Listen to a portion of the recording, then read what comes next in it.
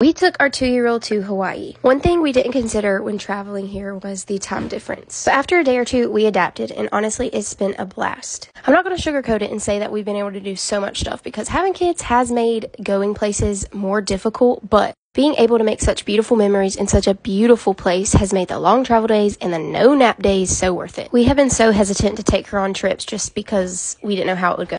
I love you. But there is something so special about seeing the world through her little eyes, and it makes us just so excited for future trips and making more memories.